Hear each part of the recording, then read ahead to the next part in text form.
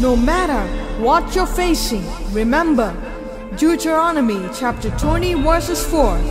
The Lord your God is the one who goes with you to fight for you against your enemies to give you victory.